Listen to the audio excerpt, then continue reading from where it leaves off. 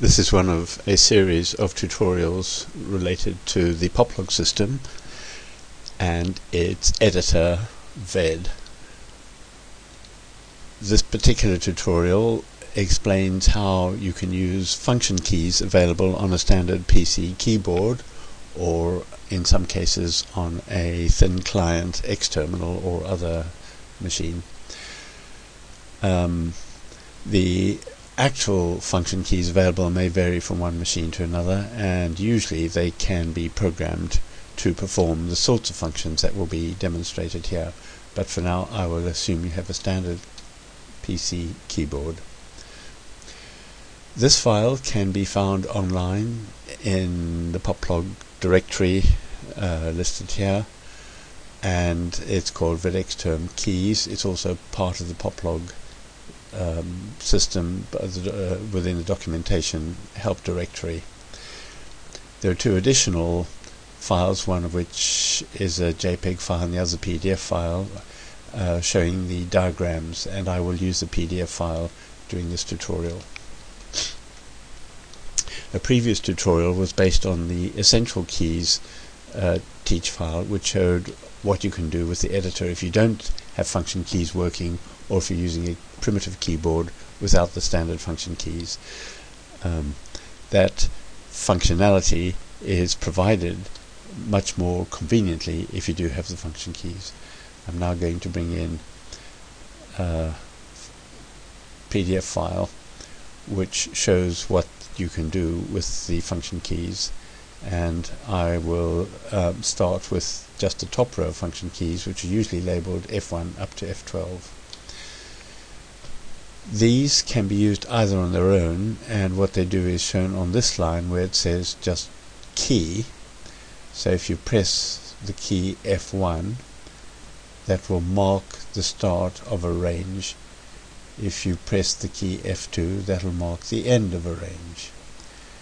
And I'll show in a minute what that means. When you have marked a range there are various things you can do with that range like copying it or compiling it or formatting it or um, uh, deleting it. Now, if you, instead of just using the function key, for instance F1, which says where the marked range should start, if you precede it with the escape key, that, so that has here esc plus key, meaning press escape and then the function key, then you get different effects. So for instance, if you have escape F1, that means that you should mark the file from uh, uh, at the top of the file as the beginning of the range. And if you press escape and F2 that means mark the end of the file as the end of the range. So that will mean that if you press escape F1 escape F2 then the whole file will be marked you might want to do that because you want to delete the whole contents of the file or you might want to copy it somewhere or you might want to compile it or format it or do something else that you can do with the marked range. The next group of function keys, three of them, are concerned with deleting a whole or part of a line. So F4, which is used a lot, will delete the whole line that the cursor is on F3 will delete a part of a line, F, namely the, to the left of the cursor, F5 will delete a part of the line, namely to the right of the cursor. And F6 and F7 will delete a word at a time. F6 the word to the left, F7 a word to the right. Uh, you can also precede these delete keys with the escape key and in the case of F4 if you precede it with escape, then it will just reinsert the last whole line that was deleted. If you precede one of the other delete function keys with escape, so escape F3, F5, F6 or F7, it'll just reinsert the last part of a line that was deleted. These functions can be reprogrammed um, because the editor is all written in POP11 and the function key commands that are obeyed are all defined in POP11. So if you want to do something different you can, but these are the defaults. Now I'm going to move this out of the way and demonstrate some of those things. I'll go to a file called teach poem which just has some junk in it from the ancient mariner. So if I, I can use the arrow keys to move the editor cursor up and down as I'm doing now and uh, I can press the F1 key that means that the line that where the cursor is now becomes the first line of the marked range. If I go down a few lines and press F2 that means that becomes the end of the marked range. If I go further down and press F2 again, that will extend the marked range. If I go up and press F1, that means the range will now start from where that cursor is. If I go down to that point and press F2, that means that's where the range will end if I press F2 now. So F1 and F2 are very useful for um, marking the beginning or end of a range. If you don't have the function keys, then as the previous tutorial showed, you can use escape lowercase m to mark the beginning and escape uppercase m to mark the end. But it's simpler just to be able to press a function key, F1 or F2. Um, I said that uh, F4 would delete the whole of a line. So I'm now going to press F4 with the cursor on this line that where you can see it moving and that has gone. If I go to another place and press escape F4 escape F4 it brings it back but in that new location. If I do it again escape F4 it brings another copy.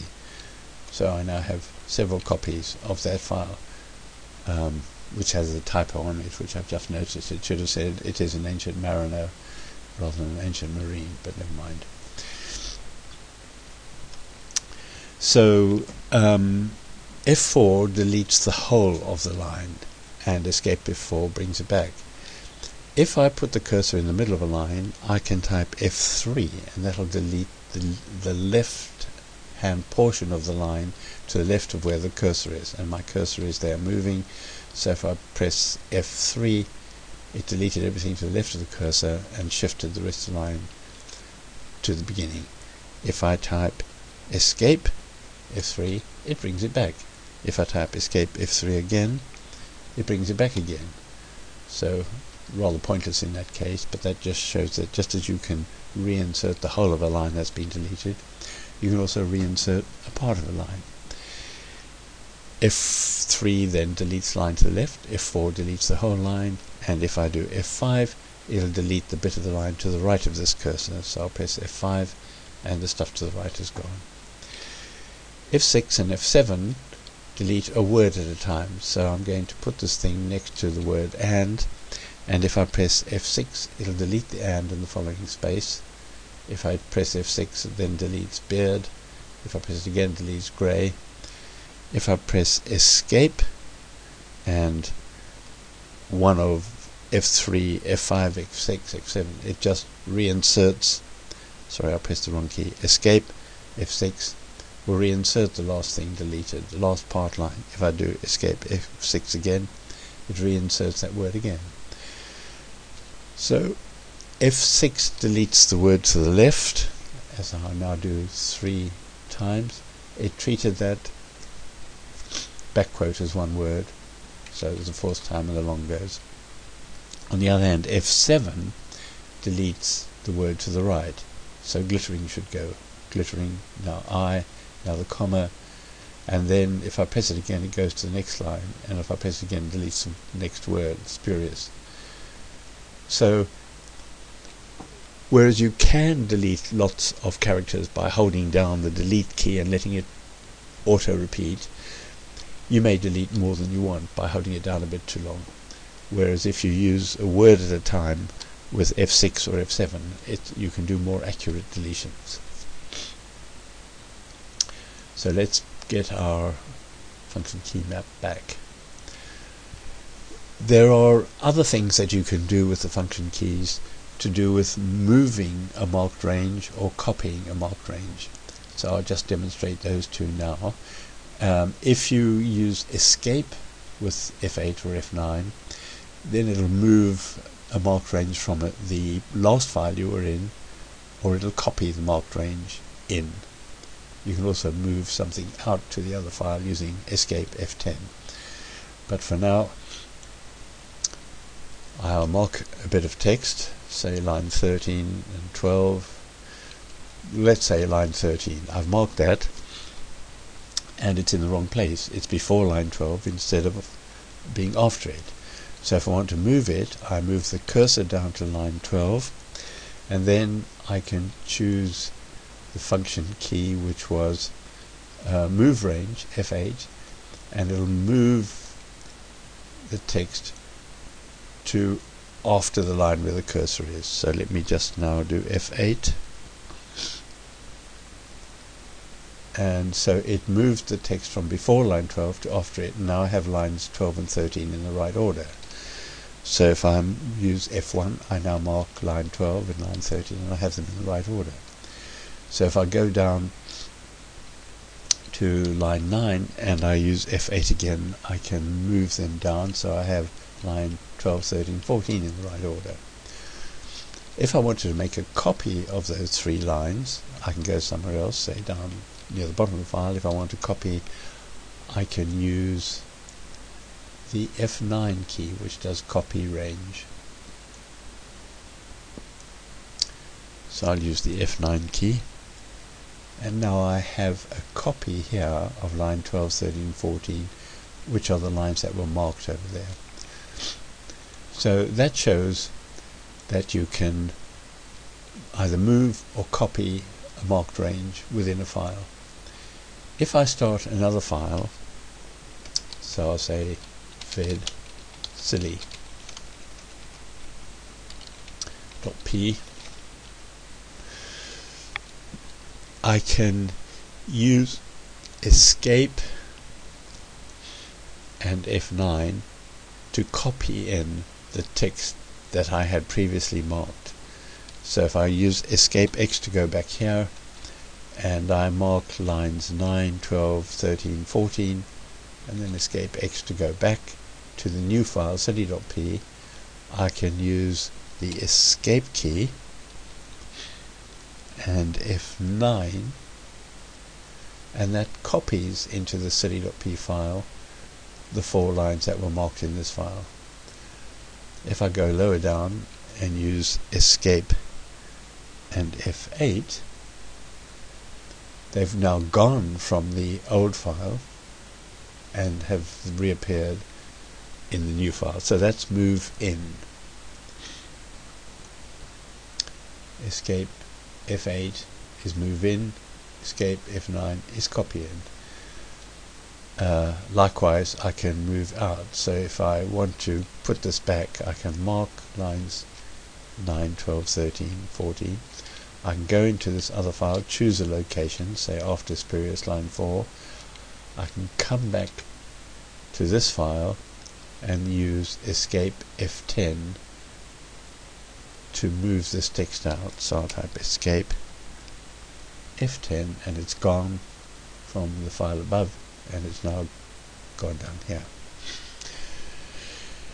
Um, if you have marked range and you want to get rid of the mark, you can use F12 to to um, clear the mark.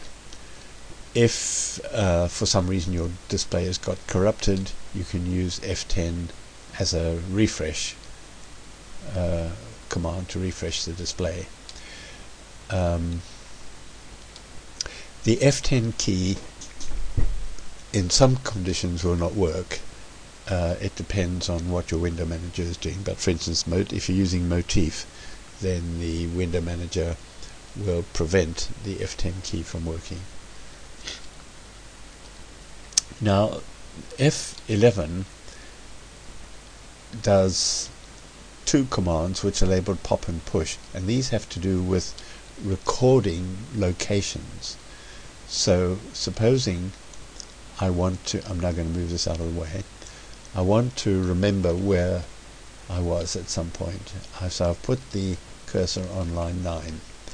I can press F11, which is marked push, which means it'll push a location onto a stack of locations. I could also have used an escape P command for that, but for now I'll just use it as a function key.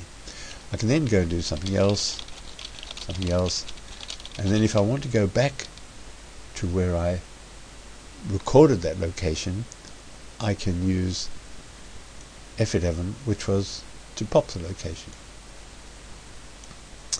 So if I use F11, uh, sorry, that should have been escape F11, and because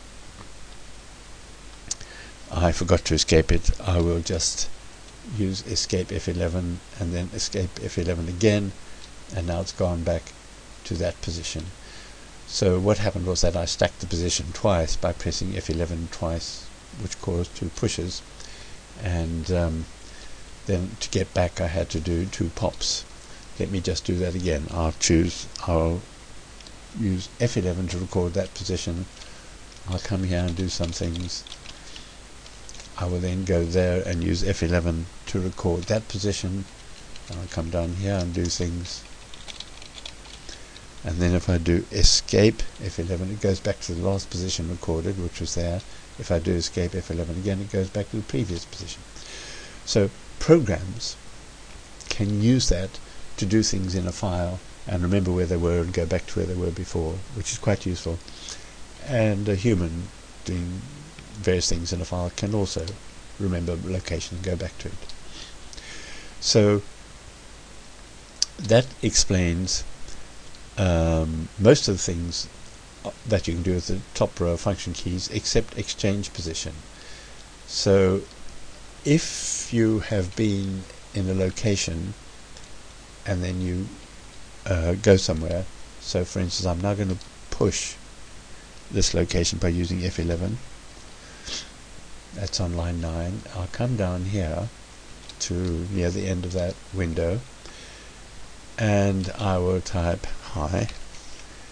If I then do escape if I then do F12 which is here, it will exchange the last two positions. So it will exchange the position where the cursor is with the last position pushed. Um, let me just do that again. I press F12, sorry, I press F11 to store that position, come down here, press F12, and ah, it doesn't work because I've redefined F12 and I'd forgotten that. Um, so uh, if I do escape P, it will um, record, it'll swap a position. Uh, but for now, I'm not going to bother with that. Uh, I'd forgotten that I'd reprogrammed the keys for my own purposes. Escape S uh, for me will now swap between two positions that the current position and the last position pushed. Uh, you can also use F12 instead of that. Now a keyboard, a normal PC keyboard will also have some keys marked in the middle marked insert, home and page up and then below that keys marked delete, end and page down. It may have some other keys as well and again those keys can be used on their own as explained in here and they can be used preceded by the escape key. So if you press insert on its own it'll move the editor in and out of static mode. If it's in static mode then you can't break lines and uh, if you type over text I'll show you what happens so normally, if I type, for instance, a few Ks here, it will just insert the Ks and push everything to the right. If I press the insert key, which toggles static, I'm going to press it now, it says at the top static on, and if I press some M's, they overwrite the characters that were there to the right, instead of pushing them further right. If I press the insert key again, the toggle static key again, it now says static off. So if I now type some L's, they push the text to the right again.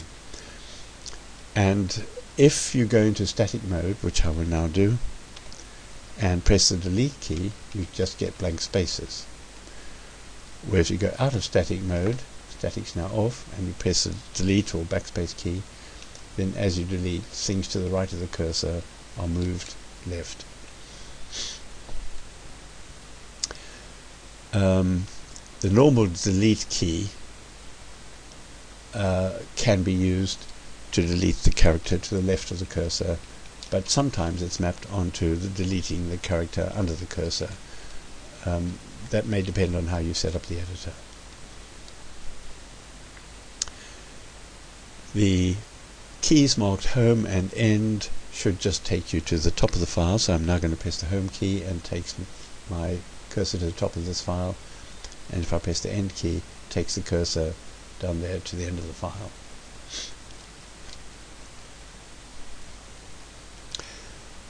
if you use the page up and page down keys, that shows you a page at a time of the file. So I'm now going to move this out of the way and get a, a bigger teach file in. Let's try teach Eliza. Then I can use the page down key to get the next window full. The page down key gets the next window full.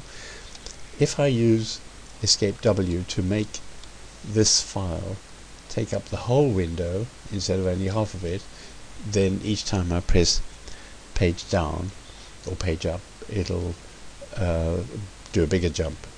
So I press page down and it goes to another part of the file showing a larger new portion. If I press page up, I go back, back, you can see the page numbers going down, 34, 1,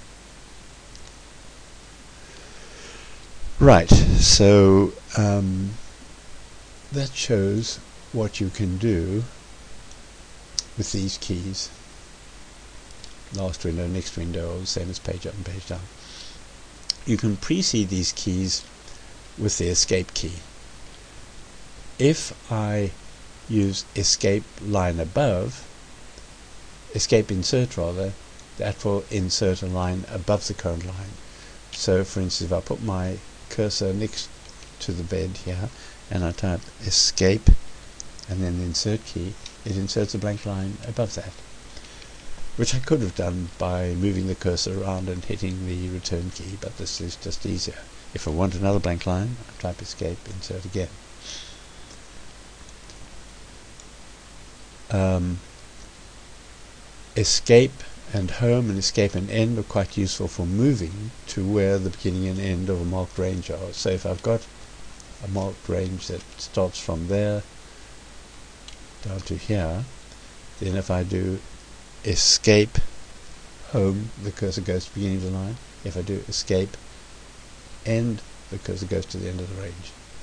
So that's what escape plus home does and escape end does if I've got more than one file, for instance, I might be using a teach file and I want to see the next page of the teach file without leaving the current file that I'm editing, um, I can use escape page up and escape page down to make the other file change. So let me go back to my um, teach poem file. And down here I have the teach Eliza file. So if I'm reading Teach Eliza and I'm doing some experiments here, you know, I might define Eliza or something, and then I want to read on to see uh, what the uh, Teach Eliza file says after that.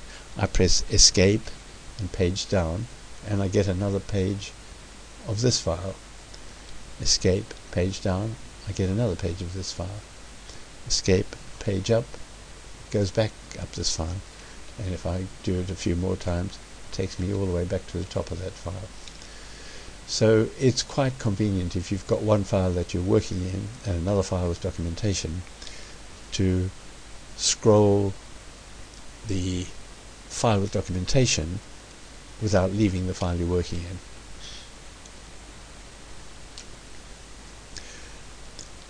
The keyboard will also have arrow keys, often in this configuration, left, right, and then up and down between them. And they do the normal things in VED, namely the left key moves the, the cursor one character at a time left, and if it's at the beginning of the line, it goes to the end of the previous line. And otherwise, you can use the up arrow to go up, or the down arrow to go down, or the right arrow to go right. But if you precede them by escape, so escape plus up does up lots, escape plus left does left lots, and so on. What does lots mean? Well, let me just demonstrate that by moving this out of the way. And let's go to the um, Teach Eliza file where there's a, more text down here, I say. So if I put the cursor there and I do escape right, it jumps a third of the way across the screen. Escape right, jumps a third of the way. Escape left jumps a third back. Escape down, escape down does goes a third a third of this window size down. Escape down, escape down. So that way you can make a window scroll partly without going to the whole new window. Escape up goes up, up, and then up again. So that's what happens when you precede the arrow keys with escape the numeric keypad, which is on the right of the standard PC key, has um, a few keys at the top, starting with numlock, which are not, which is not used, and then something with a backslash, which you may program but doesn't have a standard use in VED. Then there's an asterisk key, which can be used to compile a line of text. So, for example, if in here I have a command in pop11 which is square root of 99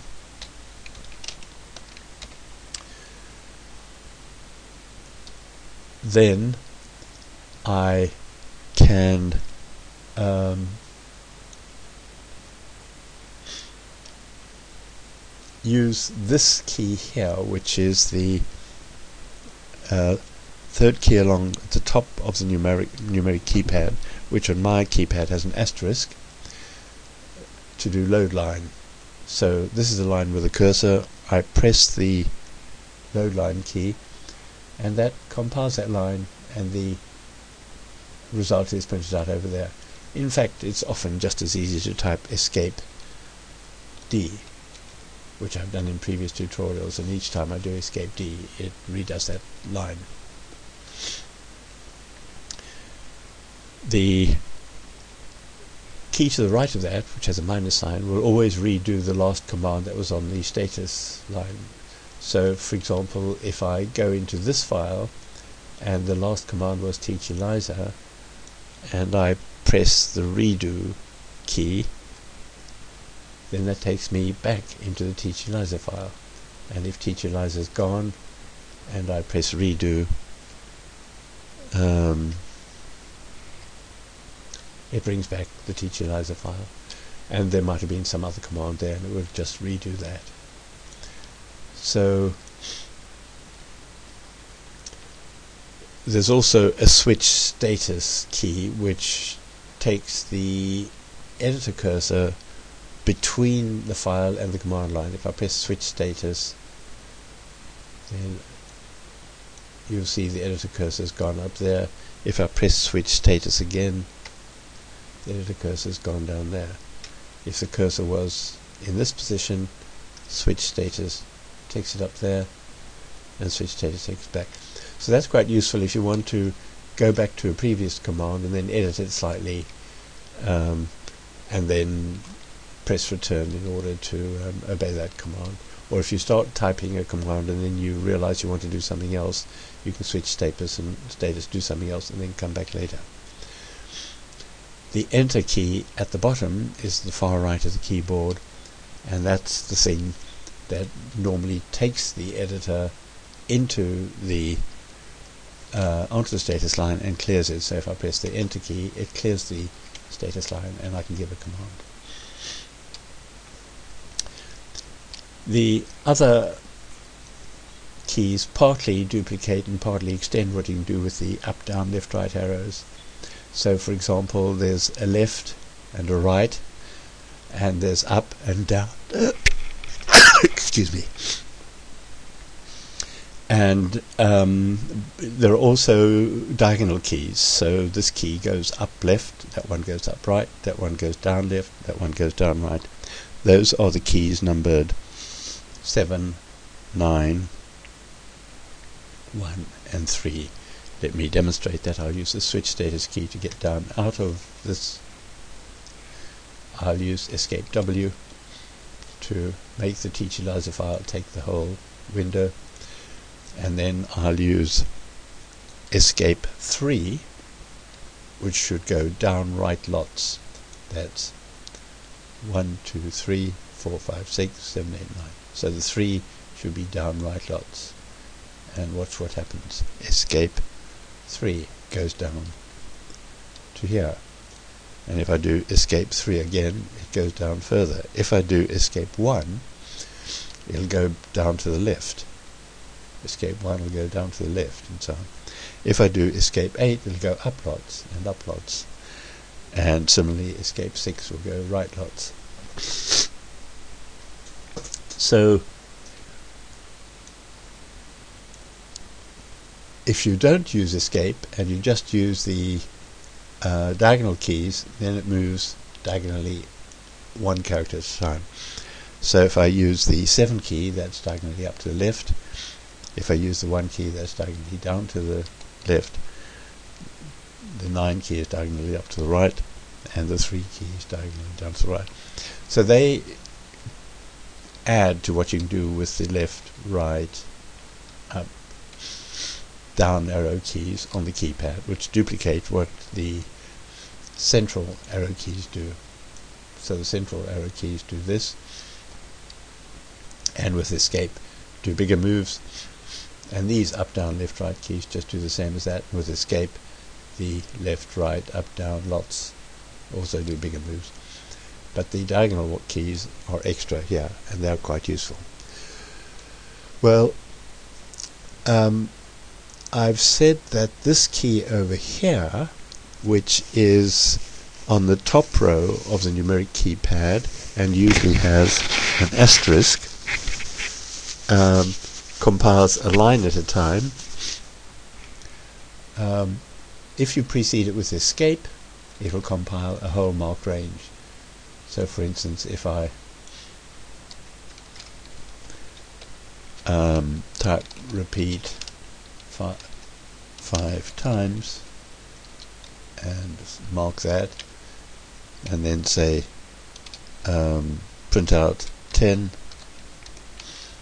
end repeat. Then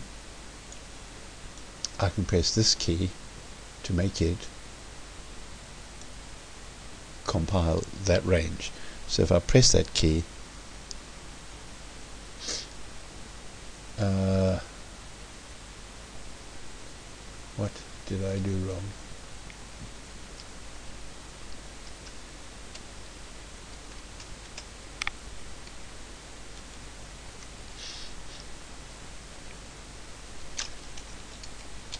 Um, for some reason, I think that um, I, I, made a mistake. But if I do Control D, it certainly repeat. It certainly compiles those files and um,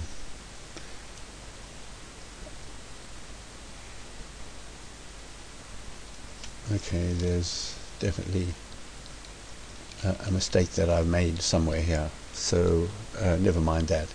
You can compile a range by typing control D which is probably as easy as anything. So that illustrates um, apart from my occasional errors the things that you can do with the function keys. And um, in my case I've sometimes remapped them and therefore that's screwed up some of my demonstrations of the standard functions. But uh, all the main standard functions are preserved and worked in my demonstration. The important thing is that each of these mappings from a function key to a VED operation is programmable.